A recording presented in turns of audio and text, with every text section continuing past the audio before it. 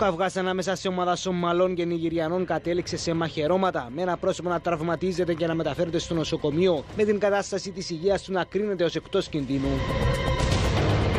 Η αιτία του καυγά που σημειώθηκε σε διαμέρισμα στην παλιά Λευκοσία παραμένει άγνωστη με τις διοκτικές αρχές να αξιολογούν μαρτυρίες και τεκμήρια ενώ στο πλαίσιο των ερευνών η αστυνομία πέρασε χειροπέδες σε ένα πρόσωπο από τη Σομαλία. Το νέο περιστατικό έφερε και πάλι την αντίδραση κατοίκων της ευρύτερης περιοχής, οι οποίοι και στο παρελθόν έθεσαν τα προβλήματα της περιοχής στους αρμοδίους, καθώς είναι συχνά τα φαινόμενα καυγάδων ανάμεσα σε αλλοδαπούς. Έχω αρκετές καταγγελίες για το θέμα τούτο. Μέχρι αρχηγό αστυνομία αποτάθηκα. Παράλληλα, οι εξετάσεις αστυνομίας συνεχίζονται και δεν αποκλείεται να προκύψουν και άλλες συλλήψεις.